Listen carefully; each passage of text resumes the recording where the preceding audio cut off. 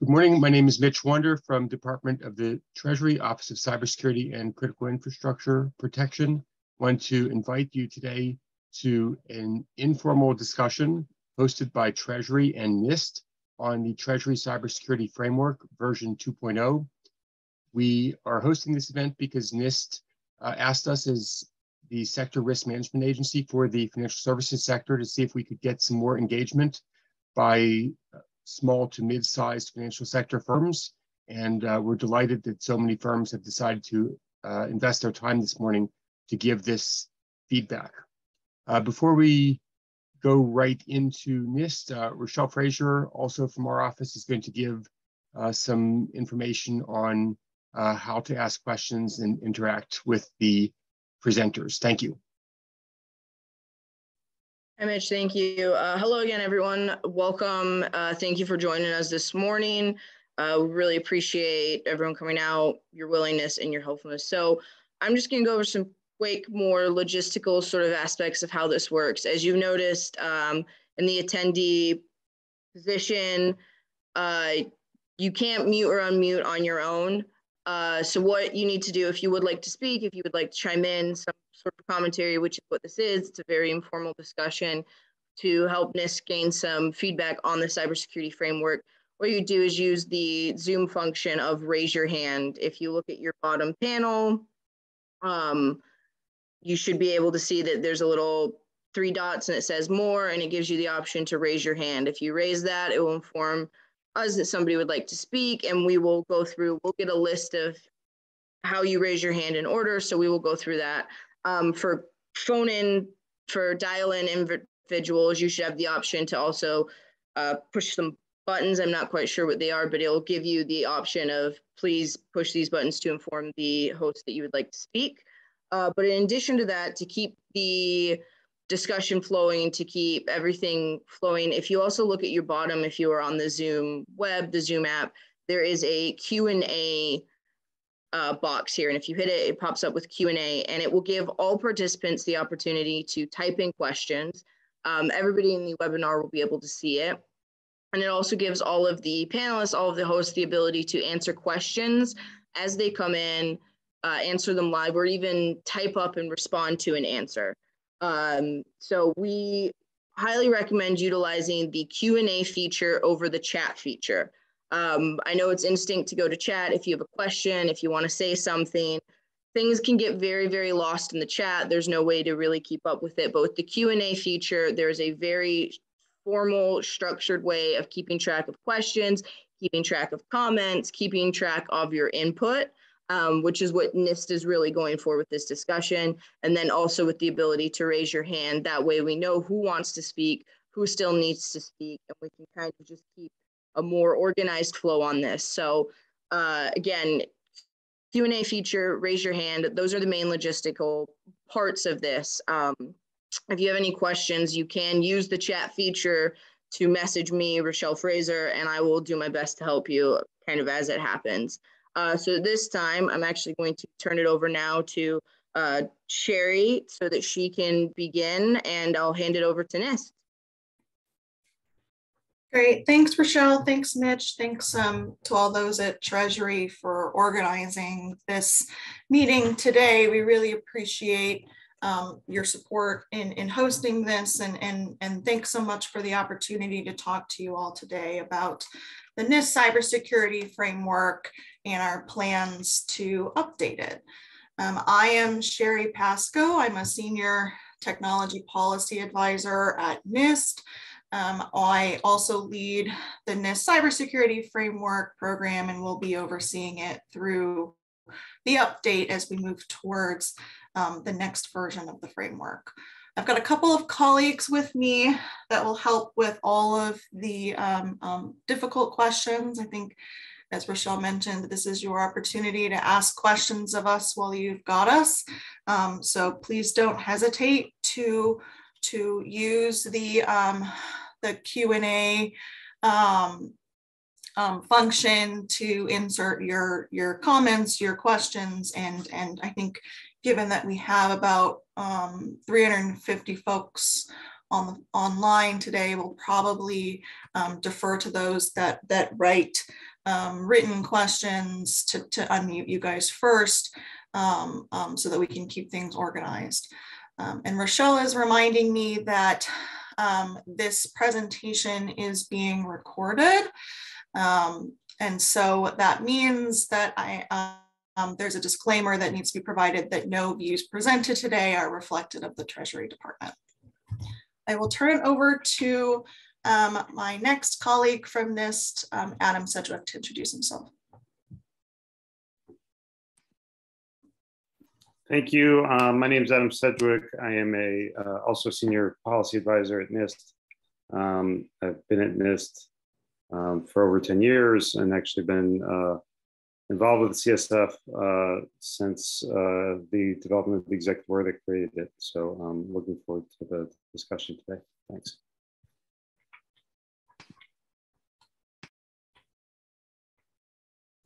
Connie? Hi, my name is Connie LaSalle. I'm also a senior technology policy advisor within the NIST IT lab. Um, I Sherry's basically my boss on on CSF, uh, and I focus my time on on many other topics related to cybersecurity, privacy, um, and technology trust issues in general. So looking forward to the conversation, and thanks so much for the robust attendance. I'm hoping we make it to to maybe 400. Is that feasible? Um, but anyway, back to Sherry. Thank you. Amy. Thanks, Sherry. And hi, everyone. My name is Amy Mahn, and I'm an international policy specialist at NIST, and I lead our international engagement around the cybersecurity framework and some of our standards development efforts in this area. Really looking forward to the discussion today and appreciate the chance to be here. Thank you. Thanks, Amy. Jeff? Sure, thank you. I seem to be having trouble with video. I apologize for that. Uh, my name is Jeff Marron. I work on well, quite a few projects at NIST, but uh, primarily for our discussion today, I help um, with our outreach to small and medium businesses for cybersecurity assistance. So looking forward to a great discussion. Thank you. Thanks, Jeff and Greg. Good morning. I'm Greg Witte. I'm a contractor supporting NIST. I've been working with the cybersecurity framework from the beginning of 1.0 and I see a lot of names in the attendees list that, that worked with us on building that. So looking forward to 2.0 and happy to help answer any questions we have. Thanks, Greg. Well, I wanted to make sure that that you guys knew the team. Um, you're always welcome to contact us after this presentation and, and continue the conversation. Um, I will also kind of describe some other ways that that you can get engaged in in um, our efforts at NIST, including the you know update for the cybersecurity framework. Um, all of the efforts at NIST are, are really stakeholder driven, and, and so we really couldn't do this without you. Um, we want to make sure that our resources are, are helpful to you, that they are effective and, and relevant for the challenges that you're facing today. And, and so really appreciate the time that you're taking today to discuss with us. Um, and, and so I will, I have a quick presentation before we get um, into questions, just going over um, a bit about the cybersecurity framework. So um, as you may know, I mean, NIST has been in the cybersecurity business for the past 50 years. We're actually celebrating our anniversary this year.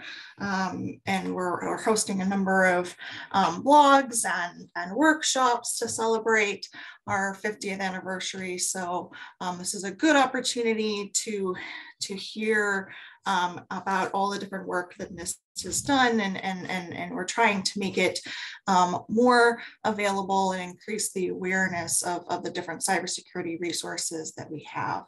Um, I think as we all know, um, um, and, and I'm sure Treasury's hosted a number of these on cybersecurity. You know, cybersecurity risks are continuing to evolve and grow you know, um, technologies are changing, the cybersecurity standards landscape are changing. Um, we want to make sure that our resources um, are evolving as well so that we provide, you know, the best guidance, um, some good best practices to help you um, tackle those risks and feel comfortable that you have um, the resources to do so. Um, throughout this presentation, I really want to make sure that we understand, you know, what your biggest concerns with cybersecurity are. You know, the the old question of what's keeping you up at night. So so feel free to share those um, in the chat and the Q and A as we go through this presentation this spring, we, um, we started a request for information to review our resources and ask for feedback um, on, on that question that I raised. You know, are our cybersecurity resources effective and relevant to address the current, current challenges? Um, NIST publishes a lot of guidance um, and, and we want to make sure that they're meeting the need. Um, based off of that request for information, NIST made a decision to update the NIST cybersecurity framework. Um, the framework was first published in 2014. Um, it was last updated in 2018 um, with, with version 1.1 about four years ago. Um, and now we've started the process again to, you know, update um, version 2.0 to account for, for the evolving cybersecurity landscape. Just a little background on the cybersecurity framework. I, I, I, know many of you have probably been involved with, with the framework from the beginning, um, and, and we really appreciate your support and involvement in the process. I think for those that are newer, um, this might be a little bit helpful to sometimes understand the way that NIST talks about it. So the framework um, is um, kind of viewed as foundational you know, to addressing cybersecurity risks. It does so by providing a set of cybersecurity outcomes. These are the end results that we hope organizations will meet to address cybersecurity risks. It is not a list of controls. It does not tell an organization how to meet each outcome. And thus it's meant to be paired, you know, with more um, prescriptive standards as well as various control frameworks that an organization would leverage to meet each outcome. Um, and I see in the chat, you know, a, a mention of um, NIST 853, security and privacy controls. That's an example of an informative reference that organizations would use to, to implement the cybersecurity framework outcomes. Um, that outcome-based approach you know, we, we've heard has been really helpful for creating, you know, the cybersecurity taxonomy, a common language across sectors as well as across organizations. Um, it can help to improve um, communication with non-IT experts, you know, between business leaders and C-suite and IT professionals within an organization, um, between, you know, the organization and your third parties, um, as well as between your organization and maybe with your um, regulators or your sector risk management agencies. Um, it is risk-based, and that means that each sector and each organization you know, may vary in the way that they implement it. Um, and as a highly regulated sector, you know, the, the, the financial sector um, has taken some steps to kind of tailor the framework for um, the various kind of sector specific standards that exist, as well as the sector specific regulations that you might be subject to. Um, some of the kind of initial categories within the cybersecurity framework are found within the, um, the identify function, which kind of directs organizations to identify its business environment, your regulatory and legal risks and other kind of governance related roles and responsibilities to kind of prepare your organization to address cybersecurity risks and address some of the other functions in the framework. We've certainly seen um, a tailoring in the financial sector with, with the financial sector profile that was developed by CIR, CRI and, and uh, originally by the FSSCC. Um, CRI is the nonprofit that has taken over ownership of the cybersecurity framework financial sector profile. Um, and they've done a lot of the heavy lifting to kind of incorporate you know, sector specific standards and regulations into its profile. So um, we really want to hear from you, you know, about whether you're currently using the framework, kind of what other cybersecurity frameworks and standards are you using as well in, in conjunction with the framework. So a little bit about the update and, and the direction that we're moving with CSF 2.0. Um, as I mentioned, um, we, we did a request for information um, in the spring. Um, we, we published a, a summary analysis um, of all of the different comments that we heard, 140 comments across a wide variety of stakeholders. Um, and these themes will drive our, our efforts as we move towards CSF 2.0. Um, we certainly heard quite a bit from organizations that they like the framework, that they currently find it effective to manage cybersecurity risks. Um, but of course, you know, given the evolving landscape, stakeholders had a lot of comments about the ways in which the framework um, can be improved going forward, as well as how to increase its usage um, by all organizations you know, not just critical infrastructure, which the framework was originally developed for, but also, you know, increasing its usage and adoption internationally by foreign governments, um, increasing the usage um, at the state and local and tribal level um, by academia, as well as um, by um, increasing the usage by small and medium sized organizations. So really trying to make it, make sure that it is valuable for many different types of organizations.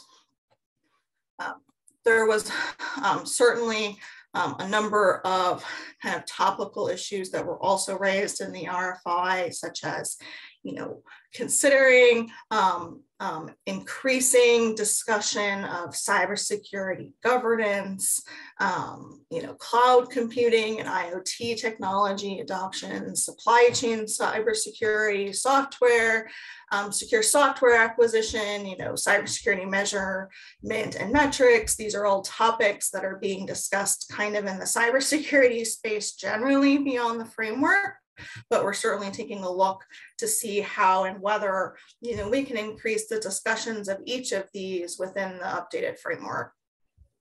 We're also taking a really close look at um, the guidance that we are providing um, to organizations in implementing the framework.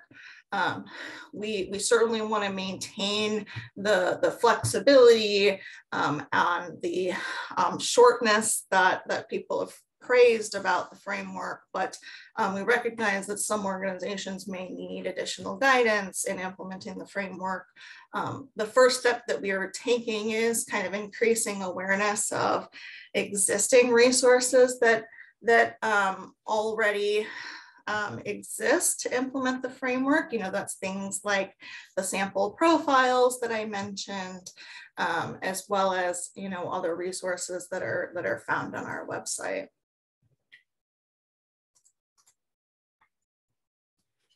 So, um, you know, just, just sharing um, a couple of links, um, some light bedtime reading on, you know, for you on how to implement the cybersecurity framework. Um, all of these links can be found on the NIST framework website. Um, but the first link I wanted to share is called our quick start guide. Um, this kind of summarizes some of the initial steps organizations can take to implement the framework categories and subcategories. You know, it's really short, only a couple of pages, um, and it's a really nice um, place to start. There's also a handful of sector specific resources that we've posted on our website. Um, I mentioned the CRI profile. I've got a link here and, and, and um, I, I, think that uh, we'll make sure that that is also shared in, in the Q&A. Um, there's also a number of um, kind of small business resources you know, including our full NIST Small Business Cybersecurity Corner, which is our website dedicated to sharing a whole bunch of different small business cybersecurity resources, um, including those developed by NIST, but also um, other agencies, um, including you know, the FTC and, and, and uh, the Small Business Administration and CISA. Um, and so I think you'll find um, some really great resources um, on our website, but, but wanted to identify a couple here that I think would be um, most valuable.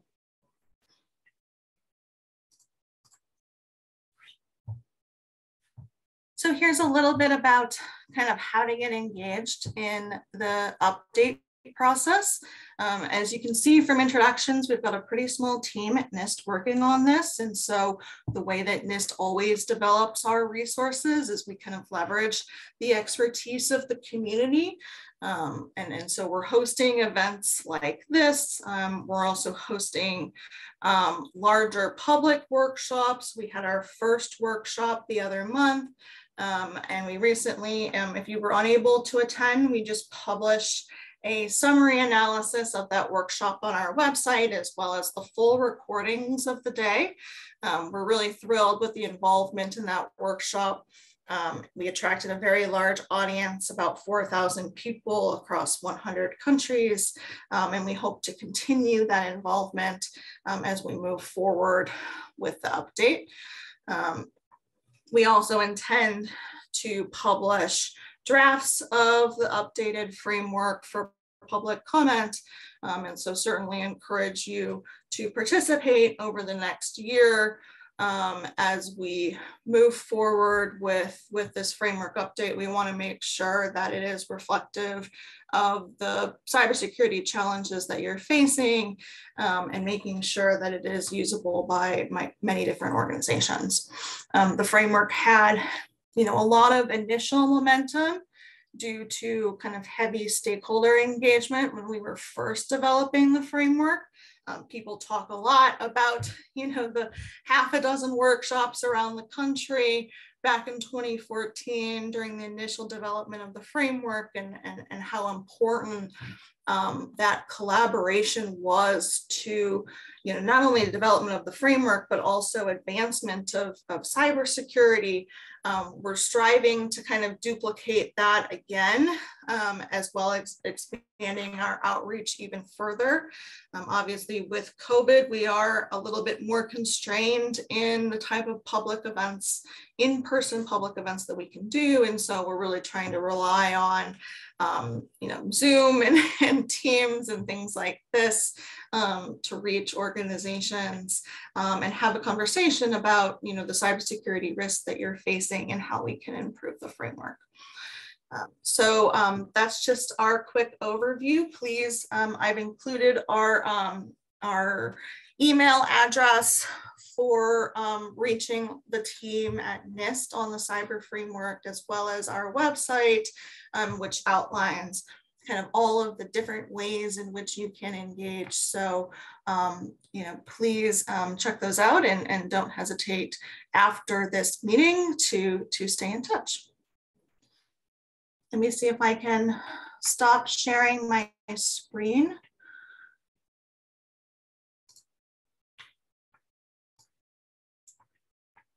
Okay, I think it stopped. Is that true? Yes, it has. Yeah. Okay.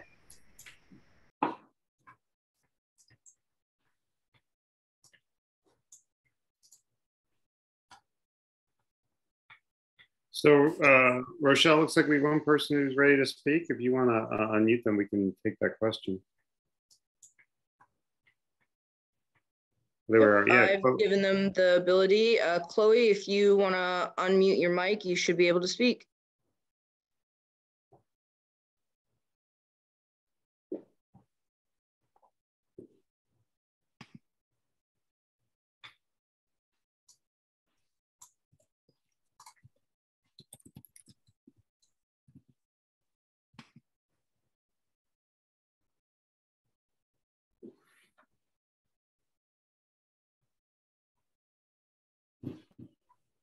Uh, Chloe, we can't, we can't hear you if you're speaking.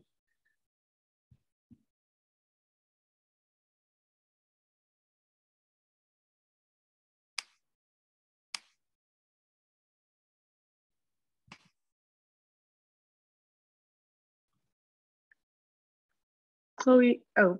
it looks like she, it looks like Chloe did not actually mean to raise their hand. So Oh, Okay. um, maybe we can, it looks like we've been typing some answers to some of the questions, but while folks um, think about um, other comments that they want to make and, and feel free to raise your hand um, if you'd like to be called on.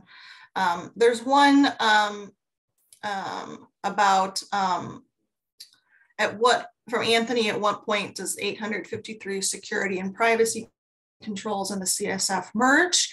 I think as I mentioned, you know, and, and, and Jeff um, correctly states that there are different level of abstractions.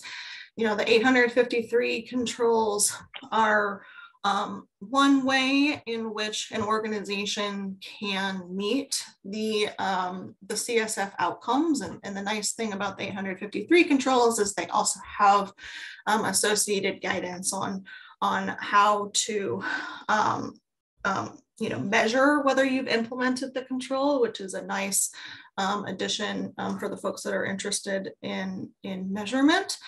Um, but, you know, the 853 controls um, have existed for a um, long time, much longer than the cybersecurity framework. And, and we are hesitant to kind of redo the order of those. Every time we make a change to those, there's a really uh, significant process um, that goes that we go through. But we are looking um, now that we have, you know, an opportunity to update the framework to see if if there are areas in which um, we can increase the alignment between um, the 853 controls and, and the NIST cybersecurity framework outcomes that are at a higher level of abstraction for those controls.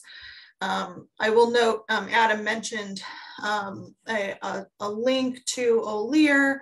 Um, we have a number of, of informative references for the framework. You know, 853 is just one example, but there's other standards and other control frameworks that that the cybersecurity framework is mapped to. There's there's a um, a column specifically for informative references in the framework that was published in 2018 and obviously um, you know, quickly kind of became out of date. Um, and so that's why we developed this database called OLIR, um, where um, we can continue to kind of keep those informative references fresh and have kind of standardized ways of mapping, you know, different types of standards to the framework. So encourage you to check that out. We're also looking at um, um, different ways to um, portray the information that's in OLIR, but um, you can you can download various Excels um, that that show the mapping of the cybersecurity framework to a number of different um, standards and, and, and guidance and other resources.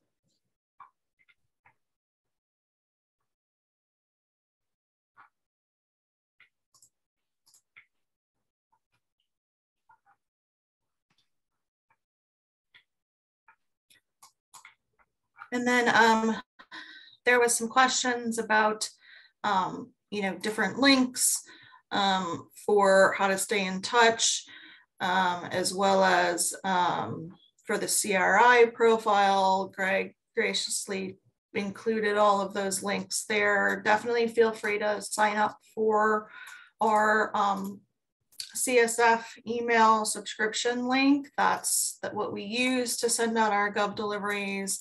And that's what we will be using to, you know, send out um, um, announcements about our future workshops, as well as the CSF 2.0 drafts for public comment. Um, so feel free to, to sign up for those.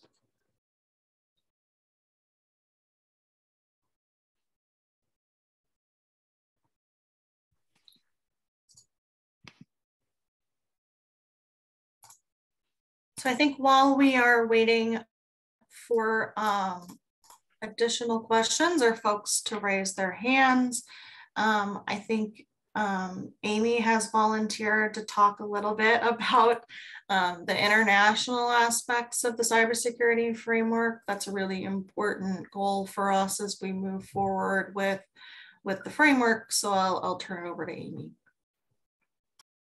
Thanks, Sherry. And as noted in Sherry's great overview, one of the areas we heard from stakeholders about during this RFI process was the importance of international engagement on the cybersecurity framework, as well as the importance of continuing to align to international standards, particularly the ISO 27000 series. So just wanted to spend a few moments talking a little bit about what we have done so far with international engagement and the kind of a robust engagement we're hoping to increase in the future through this update process. Framework has already been adapted quite widely internationally since first coming out in 2014. Countries like Italy and Israel, Japan, who put it into national policy. Japan was actually the first to translate it. And Mary noted we have a couple of international translations now, up to about nine, I believe. And that's been very important for us to be able to make the framework a globally accessible resource. And having those translations has been helpful to us.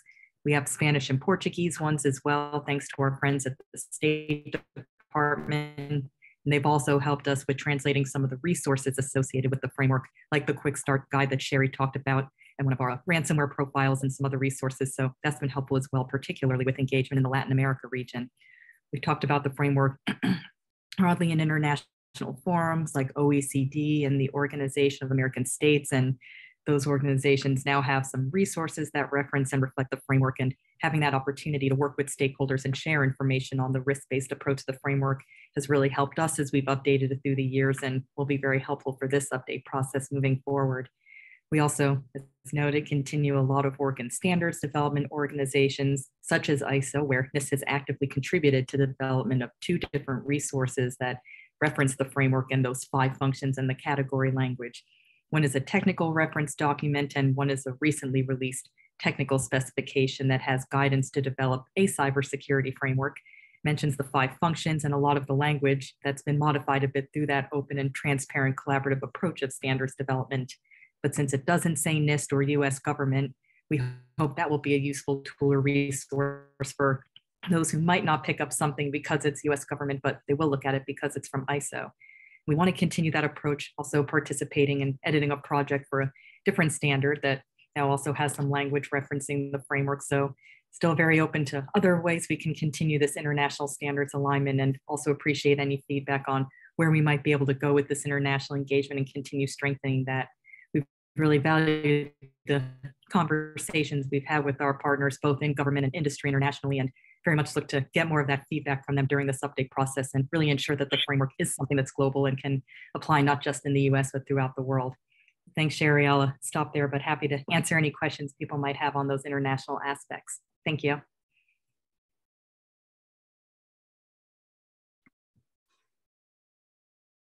Thanks, Amy. Um, and I see we've got a question from Daniel asking to summarize the major changes between 2.0 and 1.0. So we um, have not yet published 2.0. Um, um, the themes that I discussed are kind of the, the direction in which we, you know, intend to go for 2.0. We expect that um, um, 2.0 will probably not come out until um, at earliest the fall or winter of next year. Um, so we expect to use kind of the next year to work with um, really with you, with everyone on, on the changes that you would like to see to the framework. Um, we also think that this is a great opportunity, as Amy mentioned, um, as we're talking about changes to the framework to increase the usage of the framework. And so we're doing a lot of events um, focused on awareness, focused on um, training, um, on you know how to use the framework and increasing awareness of, of different resources um, that are available to use and implement the framework.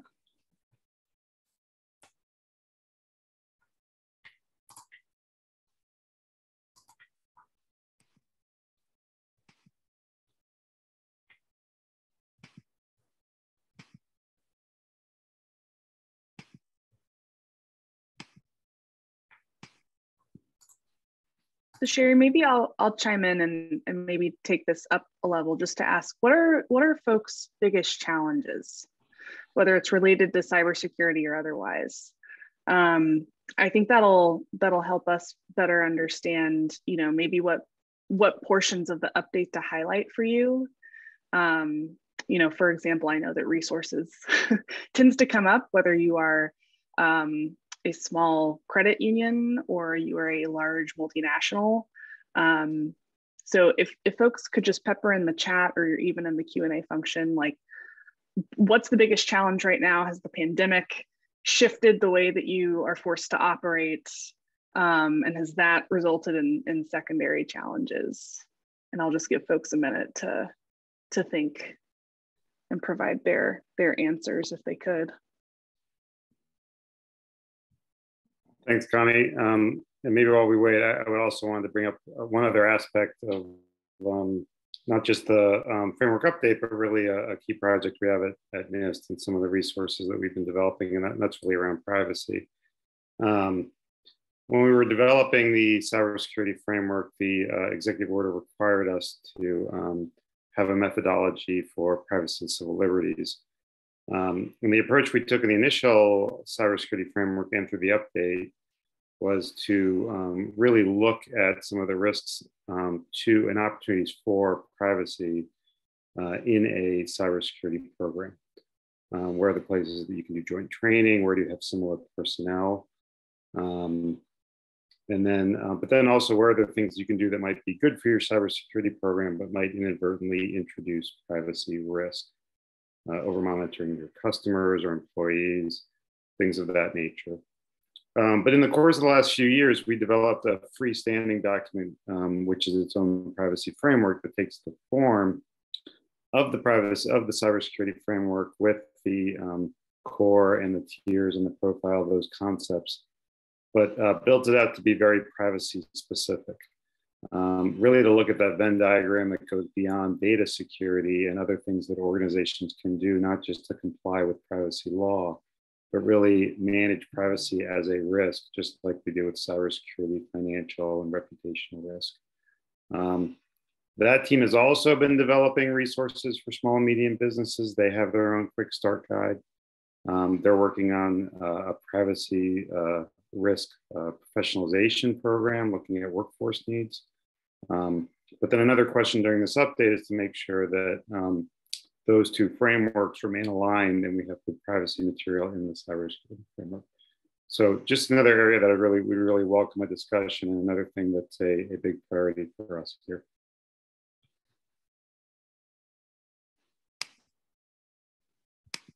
So it looks like we have a few folks who have um, responded via the Q&A function about challenges. So thanks. I'll just go through and read some of these um, so Dennis says the biggest challenge on our end is our reliance on third-party vendors.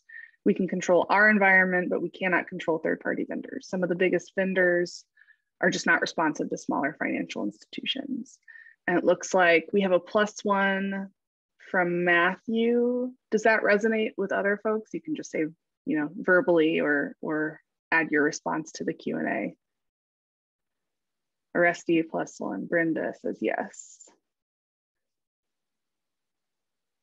So it's, oh man, okay. Yeah, lots of concurrence. So this is a big one. And I imagine, you know, as you outsource to cloud vendors, this becomes a bigger and bigger challenge. Um, so that's interesting. Yep, yep, people keep saying yes. While people say plus one, maybe let's go to the next note from Don Shields.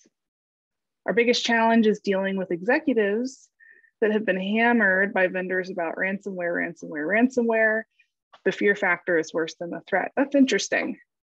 I wouldn't, you know, it's hard to tell. There's been a lot of coverage of of ransomware and certainly a focus by um, the highest levels of the federal U.S. government on the on the challenge. So it's interesting to hear that um, that kind of challenge has not come to bear in reality, but the the the thought of it and the risk of it seems to be top of mind for your executive.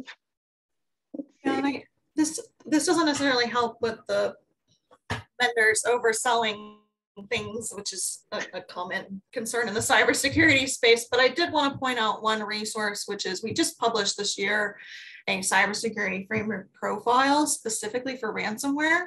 Um, and there is a um, quick start guide associated with that, which, which might be a really helpful um, you know, two pager that you can give to executives um, about, you know, all right, if you're actually looking to address ransomware, here are the top steps that you should take.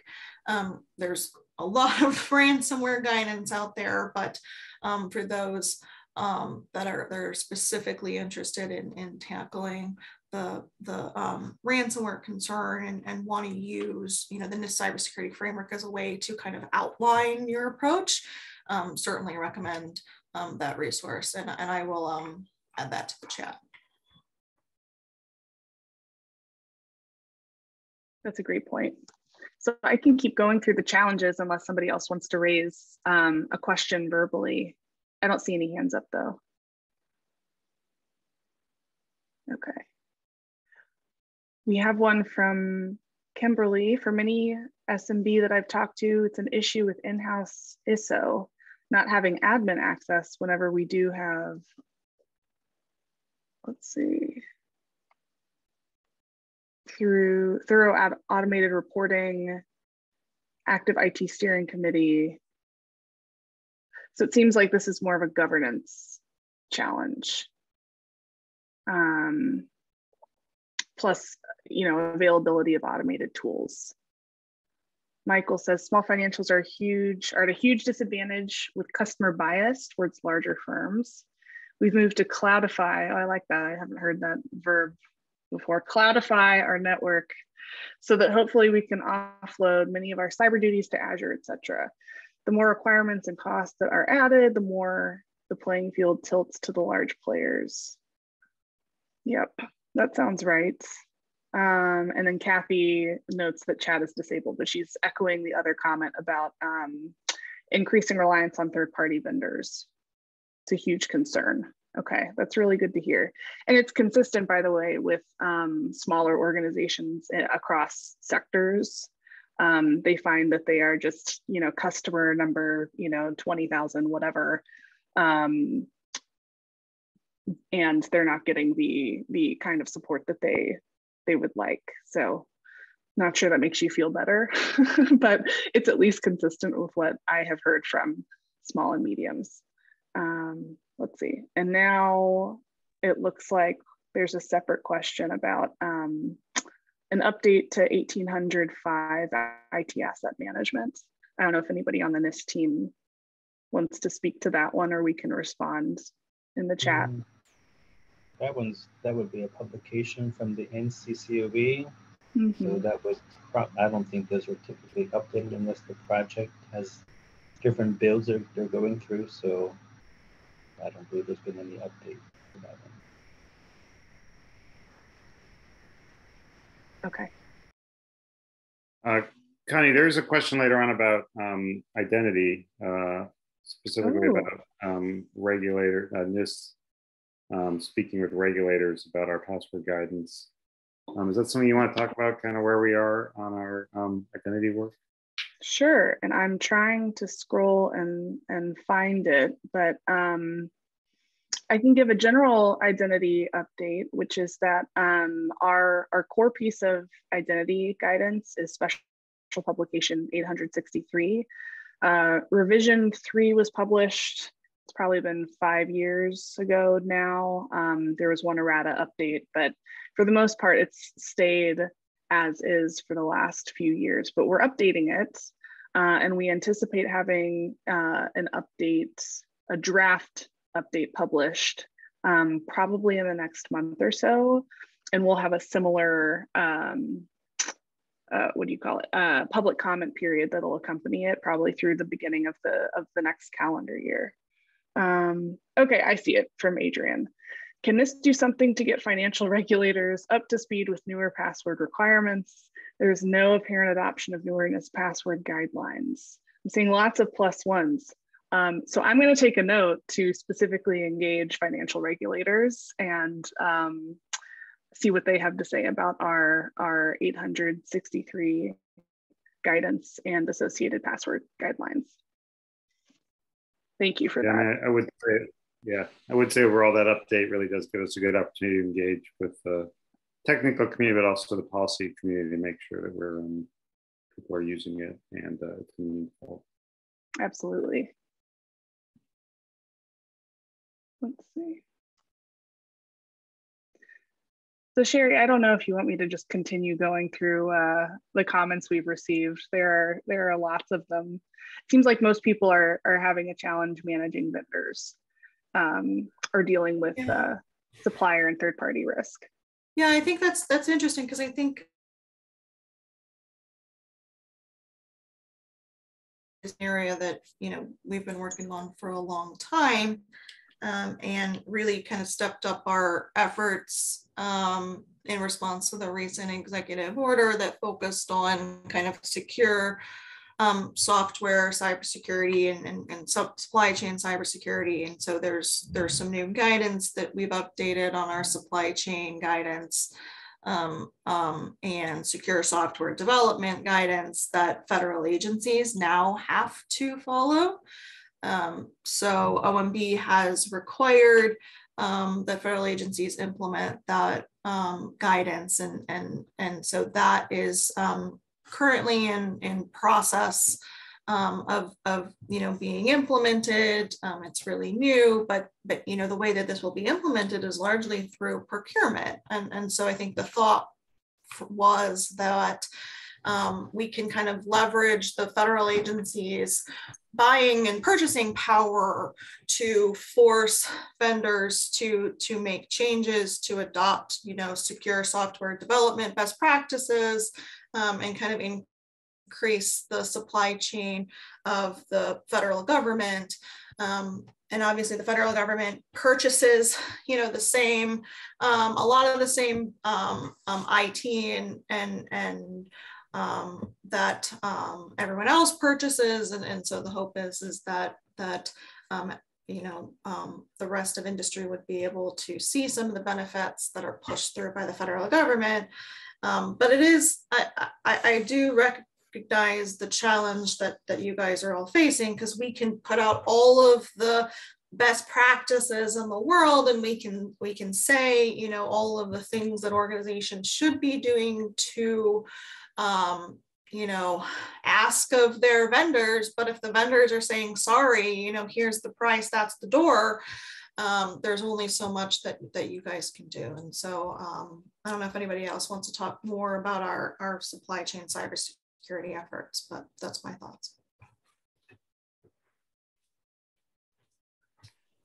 No, I mean, it's definitely a big topic for us that we've tried to address in a couple of different ways. It's probably worth sharing um, the link to the program page um, because the guidance has come historically in a variety of forms.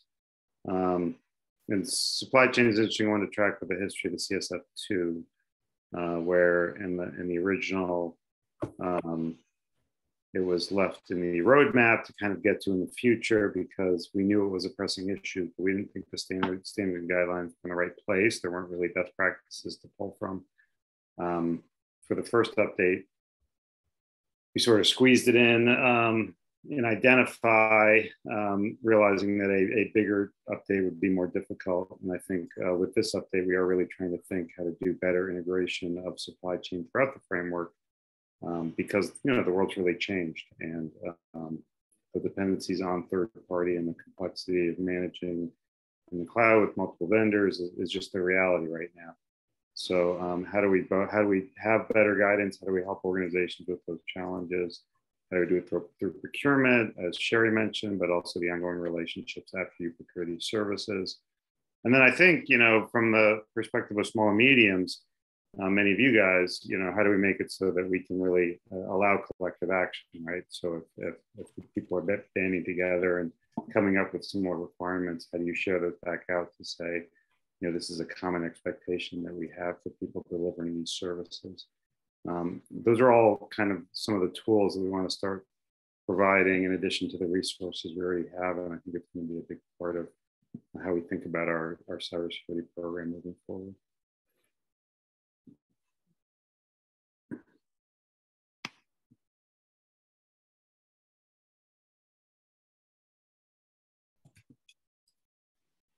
I want to ask um, Kathy if if you could expand on your uh, your comment about supply chain issues from the pandemic. Would you be willing to to unmute and expand a little bit?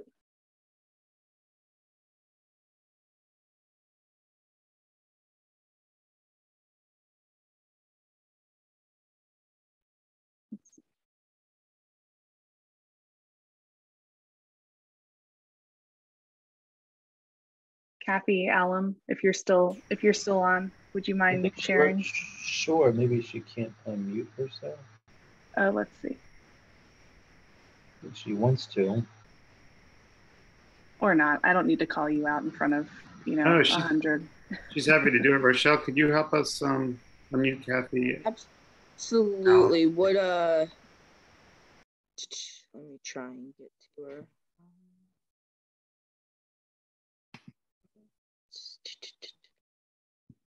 Kathy, could you use the raise hand function so that Rochelle Yeah. can identify you? That'd be great. Oh, there we go. Perfect. There it is. Okay, you should be able to unmute now, Kathy. Great, I've unmuted. Can you hear me? Yes. Yep. Okay, great. Um, so supply chain issues that we've been experiencing um, really kind of um, start even as small as just being able to get card stock for debit cards. all the way to um, you know one of our projects we started over almost a year ago is um, you know enhancing our disaster recovery posture by uh, putting a um, recovery site in our, our core vendors environment, which would require a router and um, you know internet connection to that site. So we can't get the router. Um, you know, we've uh, the vendor that we want to purchase it through, it's on back order and until this December. So that was about a year ago. We've been so we've been waiting for this, you know, to become available. So that's two of the main things that um, we're feeling right now. A lot of other little things too. Um, but yeah, just being able to get what we need to do, what we need to do. and then of course, you know, we d- just went through an examination and examinations look at these projects too. Examiners are saying, why is this taking you so long? And it's like, it's not our fault, you know, but, um, you know, we're beholden to the vendors that we choose uh, to get us through these projects. Um, and it's been challenging for sure. Wow, I would not have thought of cardstock as um, your, you know, answer number one. That's, I'm glad I asked the question and thank you so much for sharing. Anytime. Do you find that there are any helpful resources, tools, or even, you know, the, the CSF in its current form that have helped you manage some of those vendor or supplier relationships?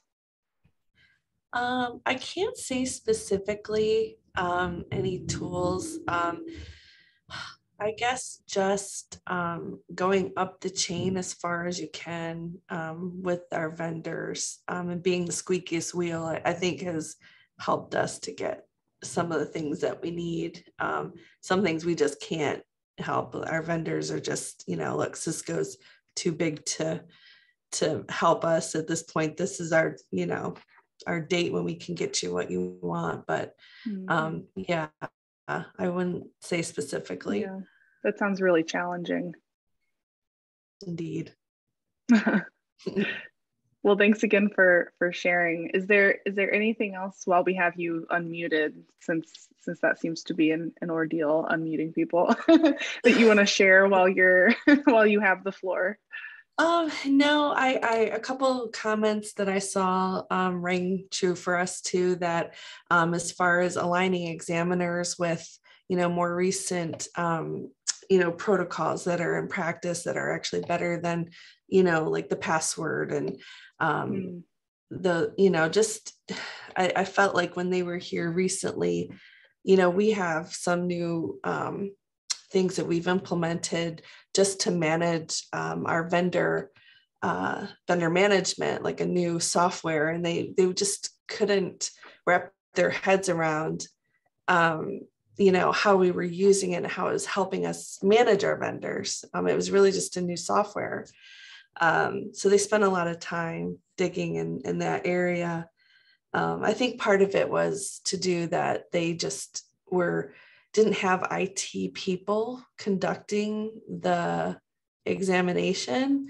So we did a lot of explaining, which Got was um, time consuming and, you know, a lot of circling back, but um, we worked through it. And then I guess the other thing would be um, the third party uh, and cloud. We, that's just a huge concern because one, one commenter said, you know, that we just have no control over their environments. And, you know, we can take their SOC reports and we can, you know, take their word for it. But it's still at the end of the day, that's what keeps me up at night is, you know, a breach with a vendor or a third party. And, you know, we just have no control over it. Right. Yeah, that has come up um, quite a bit, like I said, with um, organizations that have decided to fully shift over to one of those larger, or not even larger, but any cloud vendor. Um, and I think the threat of ransomware piece that has come up is really interesting. I almost, you know, I think for the health sector, they saw that for their mid-sized organizations, um, they were particularly at risk because mm-hmm. they were large enough to be worth targeting, but not so large that they had um, the, the type of advanced information security program that a larger organization might. Right. And um, also, I read that the healthcare industry was such a big target because you know they're they're in the business of saving lives so they're more willing right. to pay that ransom right well and i would i would wonder too i mean it's it's you know for the financial services sector you have a similar sort of hierarchy of needs, right? You need money to be able to pay for those healthcare services. Right. Um, yeah, yeah. I know we're. I don't want to cut this conversation off because it's it's heating up, but um, I think we're supposed to to stop at eleven. So, Sherry, I didn't know if you wanted to to pivot to another question or open the floor to, you to someone are else. able to go past 11 if you want. We don't have to stop at 11. We still have the, the time and the space. So you don't okay, have to hard stop at 11. Okay. Thank you, Rochelle. Thanks, hey, let me just say that I think I accidentally clicked on Dennis's Q&A about answering it live.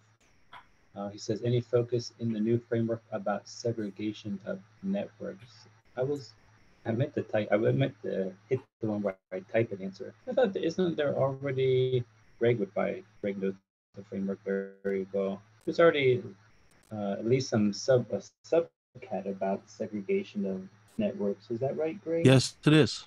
Yeah. In fact, it's one of the one of the subcategories that's there. But I think as things become more virtual, there's more opportunity to maybe expand on that. But yeah, absolutely, that's a really critical factor. Yeah. Yeah. It used to be we had a big castle wall and everything inside was was open game. So that's that's one thing NIST has worked really hard to try to try to focus on recently. So maybe it's a note to uh, I don't know. Maybe it's not prominent enough. I'm not sure.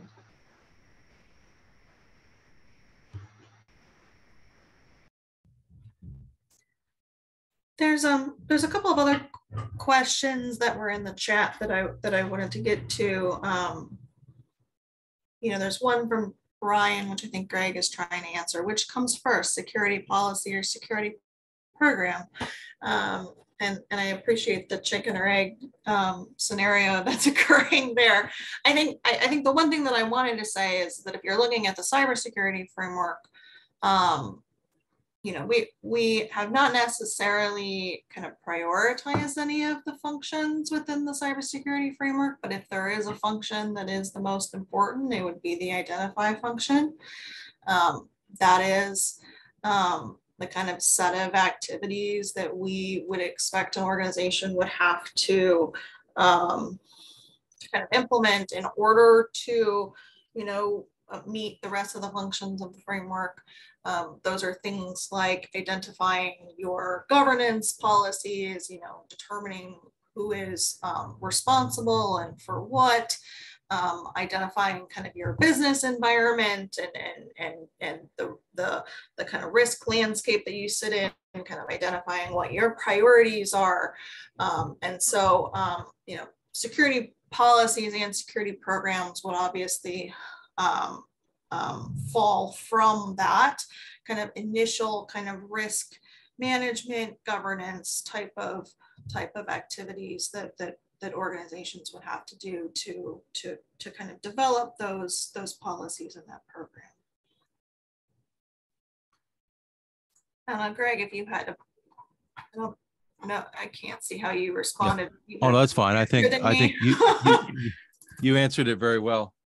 Uh, I I would say one of the things that we've learned in our work in risk management over the years is that it is kind of a chicken and egg, as you said. But if if you can start with understanding what your leadership and managers expect from an acceptable risk perspective, then you can use that to have them instantiate that through policy. And absolutely, then the whole security program drives from that. So I think you have to start with a seed of a program, and that leads to policies, and that leads to the rest of the program. Yeah, thanks, Greg. There's also a, a kind of related question from D about we are seeing more individual client cybersecurity mandates and requirements, it's impossible to manage corporate and individual mandates as well as vendors. Um, and, and I think, you know, it's certainly related to a lot of the supply chain um, concerns that, that many of you raised. Um, and as Adam mentioned, you know, we tried to increase the supply chain considerations in the last version of the framework that was some of the largest changes that we made in version 1.1, but we're, we're, we're considering kind of how to beef that up for 2.0. I think the, the nice thing about the framework is you can um, map in different requirements under each of the cybersecurity framework kind of categories and subcategories, each of those outcomes.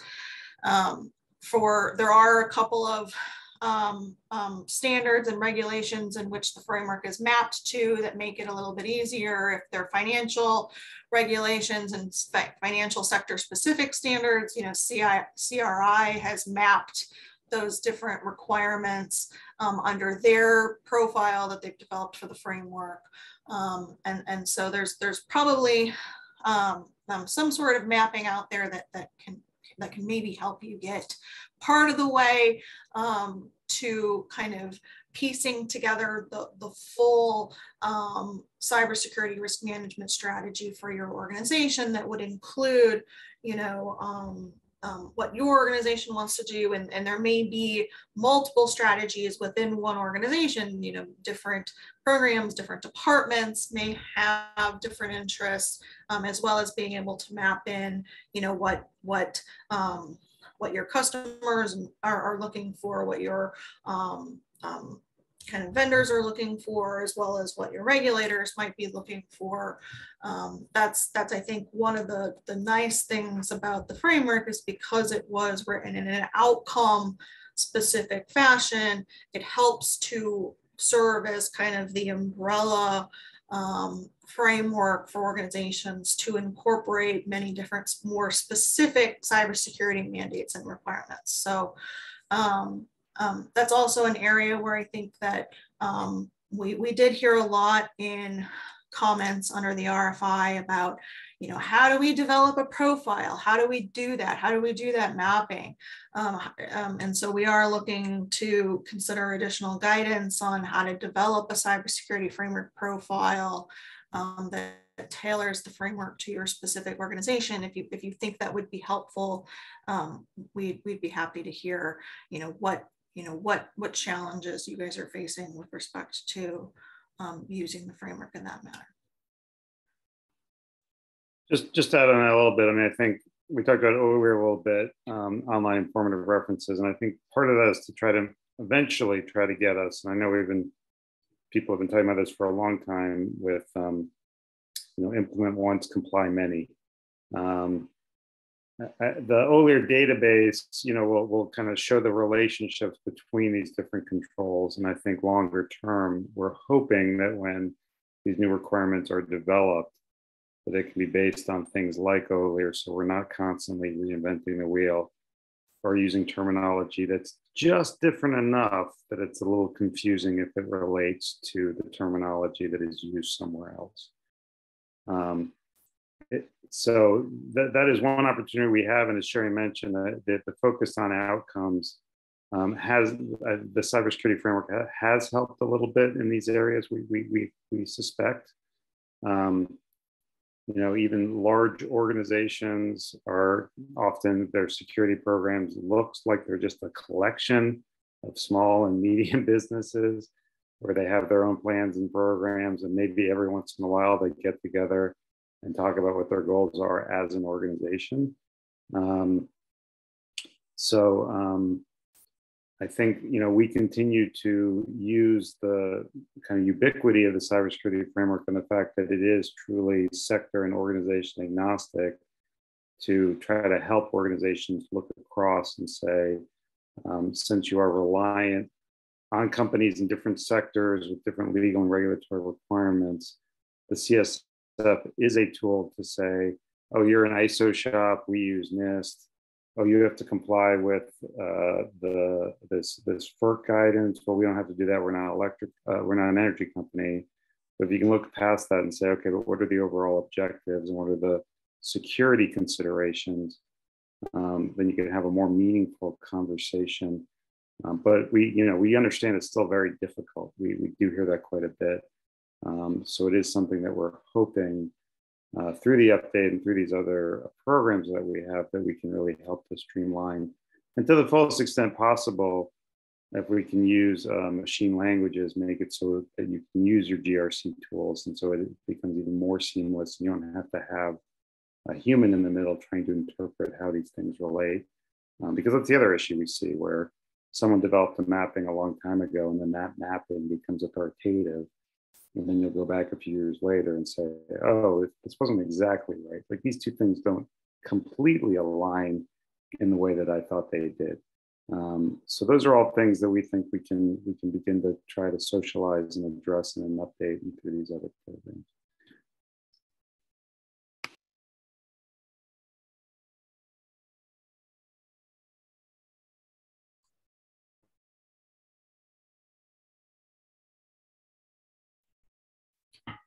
Does anybody else on the team have any other questions they want to walk through or any comments they want to respond to before we wrap up?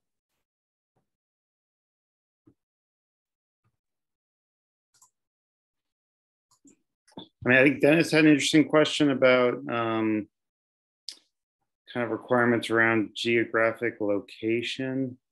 Um, we you know, we do have some work on trusted cloud at the at our National Cybersecurity Center of Excellence that does look at things like geo secure geolocation in the cloud. Um, that might be a resource.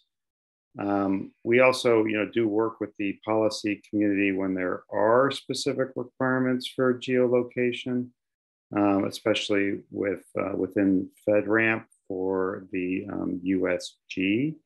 Um, um uh, so, you know, there are ways of doing it. I think we do have recommendations on the particular controls you need to look at. Um, and I need to know a little more information to, to really respond to that question, but, but maybe we can follow up uh, offline, Dennis.